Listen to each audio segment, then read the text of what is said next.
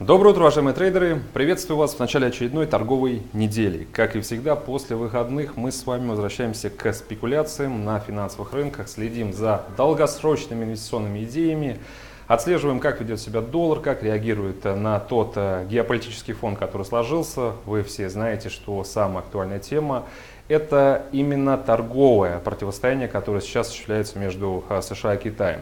Плюс ко всему, э, судя по всему, Соединенные Штаты Америки решили окончательно испортить отношения не только с, скажем, Китаем, но и со стратегическими партнерами, которые мы традиционно вносили Европейский Союз.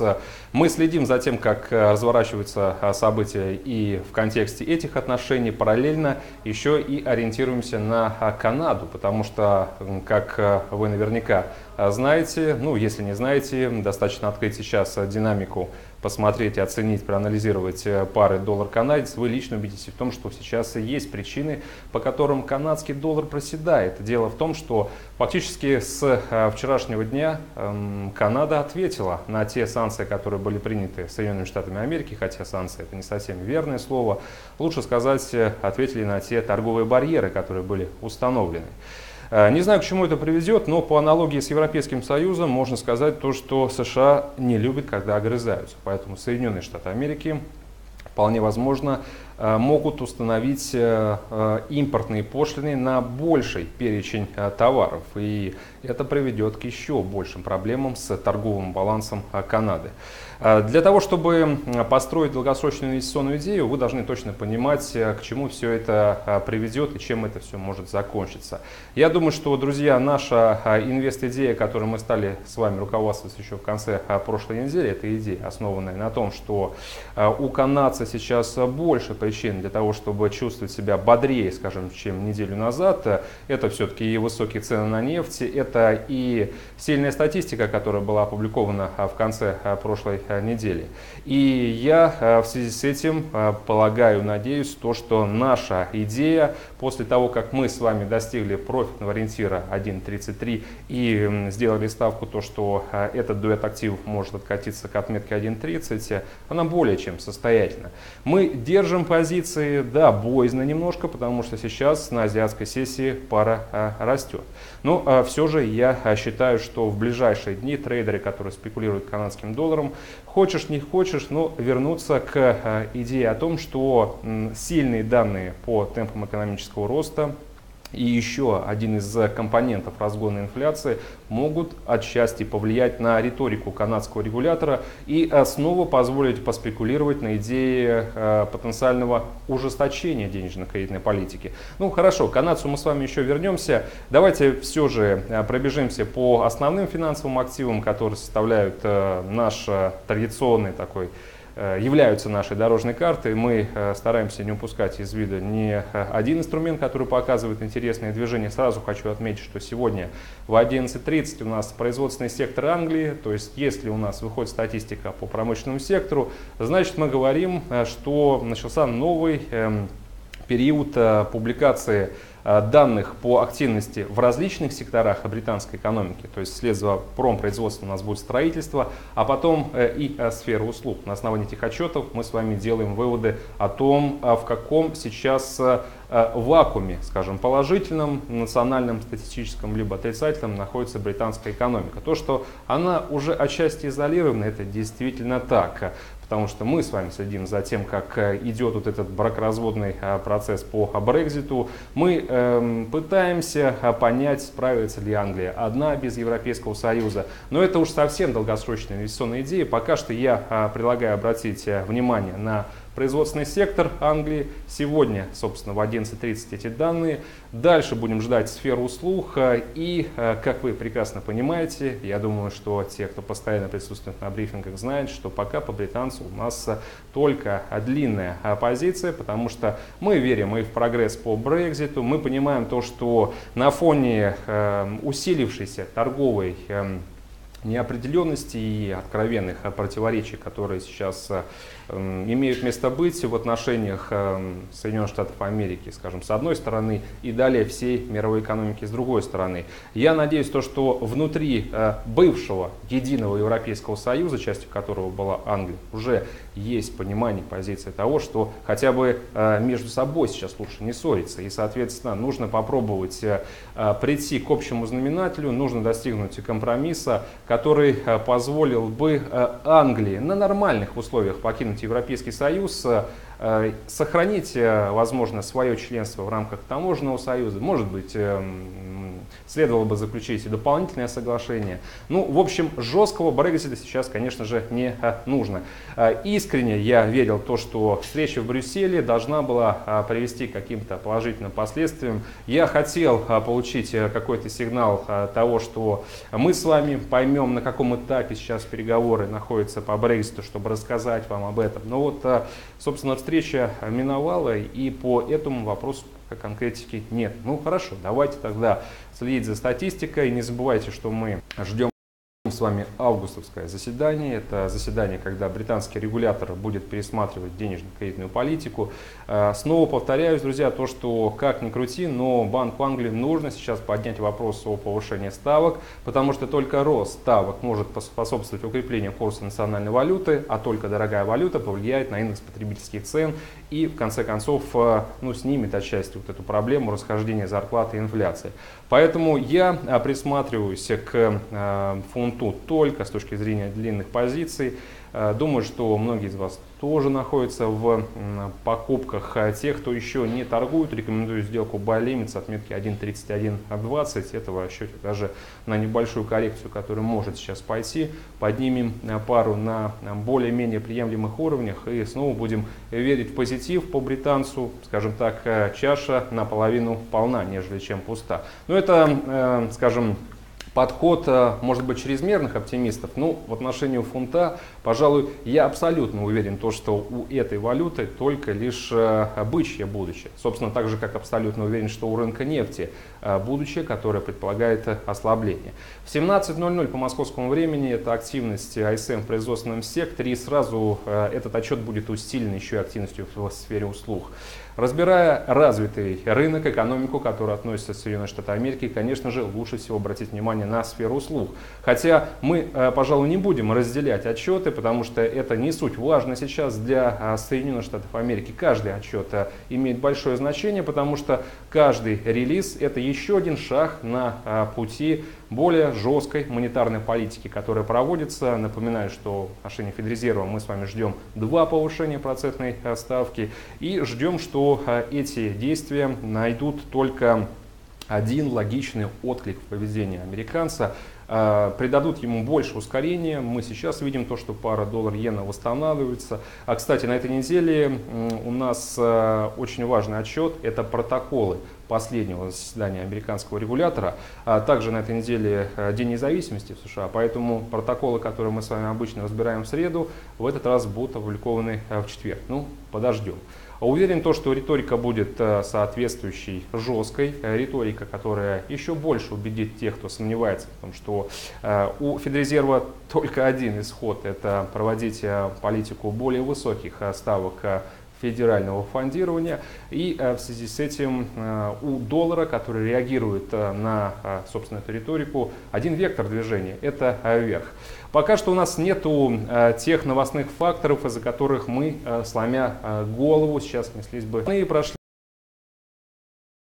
пятница, которая традиционная отличается днем от твитов от Трампа, которые будоражат все финансовые рынки. В этот раз все спокойно, в целом никакого негатива. Я даже сейчас, когда переключимся на пару евро-доллар, позволю немного даже переметнуть часть трейдеров, которые Э, ставят на то, что вот эта эскалация торгового конфликта будет только усиливаться, и попробую убедить в том, что ну, не все так плохо. Есть еще надежды на то, что Трамп э, все же ну, прислушается к своим советникам, осознает то, что э, будущее для мировой экономики, которое будет связано с полноценным торговым конфликтом, это, наверное, не лучший исход, которого сейчас стоит добиваться.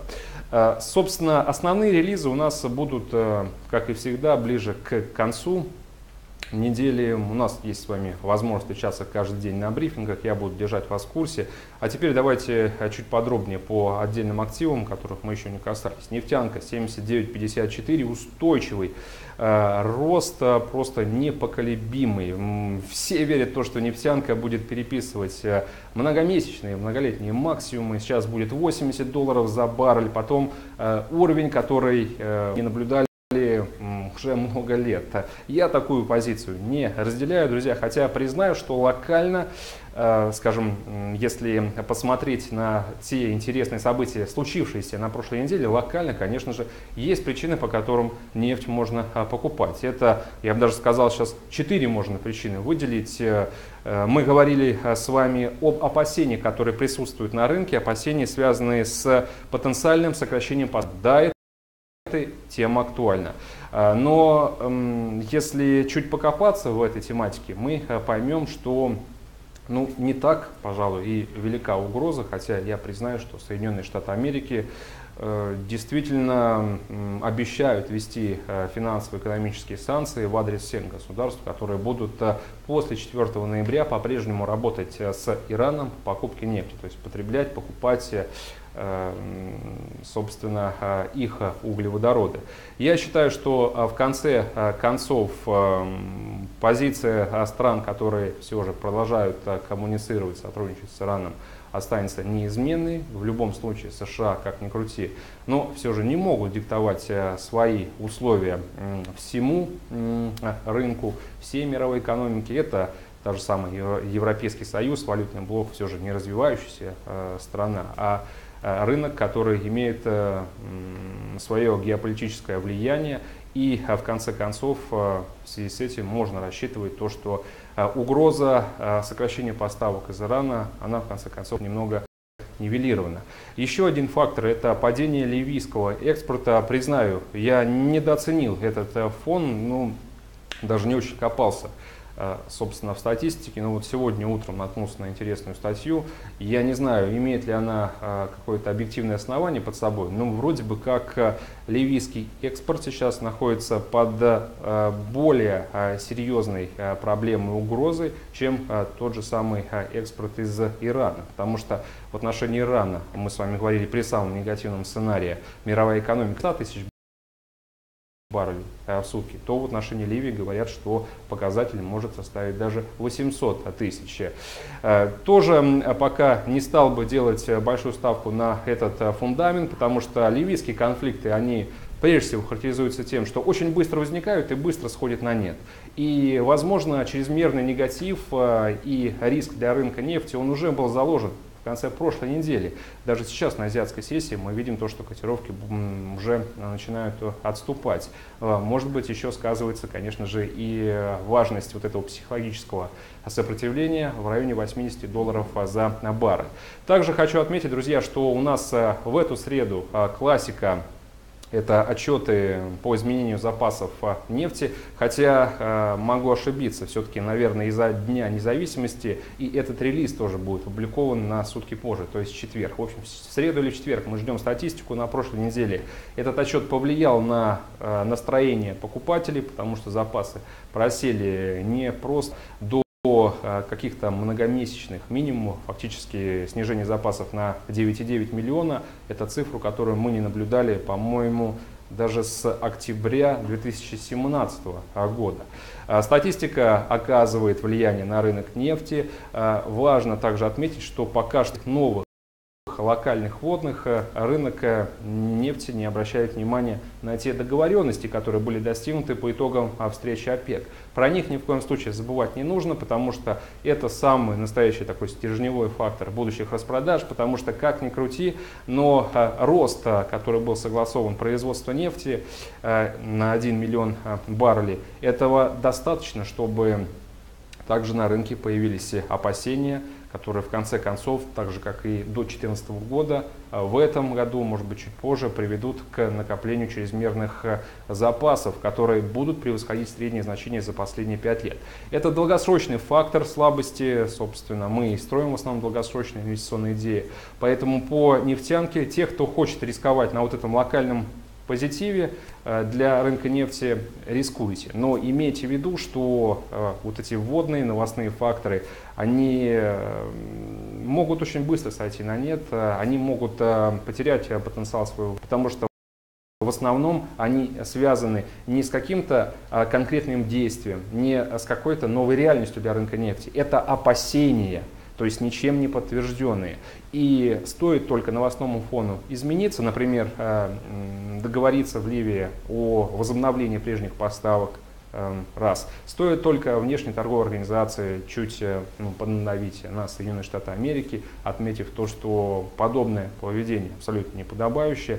Тут же риторика может немного измениться. И э, мы э, можем в очередной раз убедиться в том, что производство нефти в США также продолжает расти. Кстати, в прошлую среду, как вы помните, статистика указала на то, что а, в Штатах э, добывается сейчас рекордный показатель 10,9 миллиона. Э, что ли, э, если добавить к этому еще 100-200 тысяч, чтобы вы понимали, то фактически США догонят Россию и будут претендовать уже на место номер один по объемам поставок. Поэтому у нас очень много регионов, которые сейчас увеличивают производство. А, поэтому и риск в связи с этим расхождение спроса и предложения тоже уже начинает назревать. Я советую э, все же для долгосрочно ориентированных трейдеров ждать, пока котировки вернутся в район 74, после этого а, продавать. По рублю ситуация также не меняется, 63, чуть ниже мы сейчас находимся, но а, в целом повторяю, что довольно тревожная ситуация, потому что 63 за доллар, 63 рубля, когда котировки в районе 80.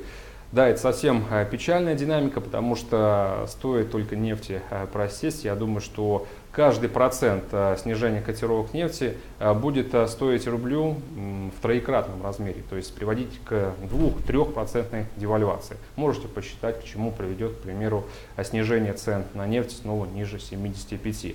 А, мы ждем рубль в районе 65, я думаю, что это только начало, но опять же это наша цель, мы давно придерживались, ориентировались на нее, сейчас мы очень близки к этому ориентиру, поэтому скоро мы сделаем ее, зафиксируем профит, а потом попробуем перезагрузить свое сознание в отношении того, что будет с рублем Появятся новые вводные, расскажу. Если нет, будем а, ставить на еще большее ослабление. По фунту отчасти я уже отметил, что больше склонен к позитивной Э, скажем, позиции, то есть позиции, предполагающие рост британца, длинный трейд, э, покупки. Почему? Потому что на прошлой неделе у нас э, вышли данные по экономическому росту. На самом деле статистика довольно неплохая. Даже прошлый месяц был пересмотрен до 1,3%. Я еще раз повторяю, что мы ждем неплохие данные, вот начиная с сегодняшнего дня. В основном ставка будет делаться на сферу услуг. Это отчет, который выйдет в среду. Чем лучше статистика, тем больше оснований для того, чтобы Банк Англии повышал процентные ставки. И вообще я считаю то, что когда мы коснулись э, по паре фунт-доллар вот поддержки там, чуть выше 1.30, это был вот этот психологический переломный момент, который, э, возможно, э, сломал нисходящий тренд. И сейчас оптимизм будет накапливаться, потому что мы также ждем еще поддержки не только от статистики, но и от политической темы касательно а, Брекзита. Доллар японская иена, растем. Мы с вами ждали 111, друзья. Этот уровень был достигнут в соответствии с прогнозом.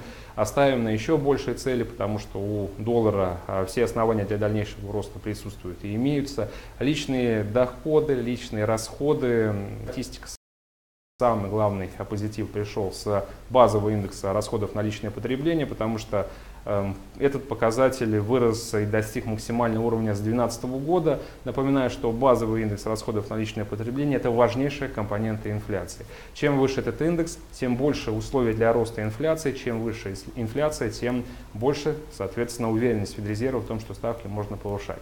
Я считаю, что мы абсолютно безошибочно можем сейчас ориентироваться, спекулировать на двух повышениях ставки в сентябре и в декабре.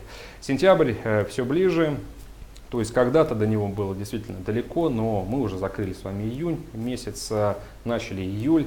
Э, я уверен, также быстро а, пройдет и остаточная часть летнего сезона. Мы подберемся с вами к сентябрю. И в этом случае, когда доллар японская иена будет уже выше там, 112-113, я хочу, чтобы вы все уже к этому моменту, потому что я вам говорил о тех условиях а, роста доллара, которые на рынке присутствуют. На этой неделе, помимо протоколов, следим еще за статистикой по рынку труда, ADP, э, частная оценка э, занятости в четверг, в пятницу Non-Farm Payrolls. По ожиданиям средняя почасовая зарплата составит 2,7%. Это очень много, это достаточно, более чем для того, чтобы э, у американского регулятора ну, появились дополнительные аргументы для дальнейшей нормализации денежно-кредитной политики.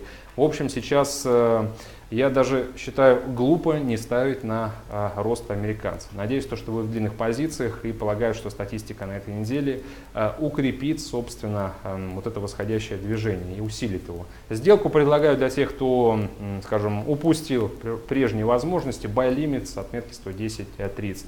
Евро против доллара, индекс потребительских цен 2% с 1,9. Для кого-то эта статистика стала вдохновляющей, потому что инфляция раз выросла, значит больше сигналов для Европейского центрального банка свернуть программу количественного смягчения. Эм, рекомендую не торопиться такими выводами, потому что базовая инфляция, которая не учитывает э, волатильные э, показатели, э, на энергоносители и на а, продовольственные товары все же снизилась, поэтому нету вот действительно основного стержня для того, чтобы э, росла инфляция. Э, есть причины локальные, почему евро вырос. Это следствие все же достигнутого прогресса по очень важному и спорному миграционному вопросу. Когда мы с вами на прошлой неделе готовились к саммиту ЕС в Брюсселе, я отмечал, что также одним из важных вопросов будет именно попытка найти общий язык по вот этому вопросу миграции. Потому что в конце концов, если бы компромисс достиг достигнуть не удалось. Э, коалиционное правительство во главе с Меркель эм, дало бы трещину, в принципе, это в конце концов привело бы к новым э, выборам. А сейчас вроде бы как этот риск уже не актуален, но я хочу отметить, что сегодня мы начали э, день, да и в целом неделю с распродаж евро, потому что появились новые политические вводные о том, что эм, министр иностранных дел Германии подал в отставку. Напомню, что это один из самых э, основных, э, ближайших э, соратников Меркель. То есть все-таки ее позиции не так прочны, как были раньше. Если эта отставка приведет к каким-то дополнительным кадровым перестановкам, нам все же придется вернуться к идее сохраняющегося и все еще актуального политического кризиса, который продолжается. По евро я еще все же напомню вам и последний комментарий господина Драки, который дал понять, что а, пока что рано еще железобетонно заявлять о том, что на рынке созданы все условия для выхода из программы количественного смягчения, потому что до сих пор не ясно, как будут обстоять э, дела вот э, в формате торгового сотрудничества с Соединенными Штатами, с Соединенными Штатами Америки. Эм, кто-то считает, что а, заявление Юнкера, а, главы Еврокомиссии, который в пятницу сообщил о том, что вот э, в ближайшие дни отправится в Вашингтон, чтобы договориться с американскими э, друзьями. Это сигнал того, что, собственно, торговый конфликт более не усилится. Я э, тоже не стал бы торопиться, поскольку переговоры с Соединенными Штатами Америки в последнее время ни к чему хорошему не приводили. То есть был какой-то позитив, вы помните, по аналогии с Китаем, когда тоже многосторонние э, договоренности, сделки и постоянные визиты одних к другим и других к первым. И в конце концов все закончилось тем, что Соединенные Штаты Америки ввели э, импортные пошлины на весь китайский экспорт. Это тогда, когда за несколько недель до этого нам заявляли, что договоренности фактически достигнуты. Я считаю, что США на текущем этапе точно не откажутся от своей протекционистской э, позиции. Но, может быть, больше негатив уже учтен а в цену. Для евро э, этот негатив, он остается актуальным. Я ни в коем случае не рекомендую вам покупать евро-доллар. Напротив, присматриваться нужно только к коротким позициям, к продажам. Если раньше не продавали, сделка sell stop с отметки 1.1590 считаю, что нормальный уровень. Также еще хотел сказать пару слов про канадца, хотя мы начали брифинг с того, что происходит с этой валютной парой доллар-канадец. Темпы экономического роста превзошли ожидания. Э, то есть э, лучше, чем прогнозировали многие. Э, важно отметить, что вырос индекс цен производителей, это тоже одна из важных компонент для инфляции. То есть чем выше инфляция будет, тем больше оснований для того, чтобы Банк Канады вернулся к росту процентных ставок. Поэтому я считаю, что мы какое-то время еще можем подержаться за идею роста канадца и потенциального снижения пары доллар-канадец к отметке 1.30. По австралийцу у нас чуть-чуть остается до цели. 0.7375 сейчас котировки, цель у нас 0.73. Завтра решение по ставке, протоколы, сопроводительное заявление. То есть на брифинге нам точно будет о чем поговорить по австралийцу. Но думаю, что начнем мы брифинг как раз с констатации того, что наша цель э, сделана. Я на это возлагаю большие надежды. Неделю назад э, точно такие же ожидания по новозеландцу были оправданы. Мы с вами достигли нашего профильного ориентира, сейчас близки к нему и по австралийцу. Ну, об этом уже поговорим, собственно, завтра на брифинге, как и всегда, в 9.30 по московскому времени. Э, в прямом эфире через Перископ достаточно поставить э, приложение на ваше мобильное устройство, найти наш канал, подключиться, настроить уведомления, как только прямой эфир начнется, вы тут же вместе со мной окажетесь в прямом эфире. Если есть вопросы, вы их можете задавать, э, но лучше их э, придержать уже до появления записи на канале на YouTube и там их опубликовать, потому что там они, скажем, доступны большему количеству а, трейдеров нашего э, трейдерского сообщества. И к обсуждению могут подключиться и другие заинтересованные Э, лица. Большое спасибо тем, кто это делает, друзья. Ну, на этом давайте э, заканчивать. Хорошей вам торговой сессии, хорошей торговой недели. Не забывайте, что такой насыщенный фундамент, как и всегда, сопряжен с большими рисками, поэтому моя настоятельная э, просьба и, можно сказать, пожелание, контролируйте риски. Это важно. Не забывайте про стоп-лоссы. Не забывайте про конкретные правила, с которыми вас знакомят менеджеры нашей компании по управлению риском менеджмента. Самый лучший подход – это не превышение загрузки депозитов к ключу выше, чем 1 к 10. На этом, собственно, все. Спасибо за внимание. Всего доброго. До свидания.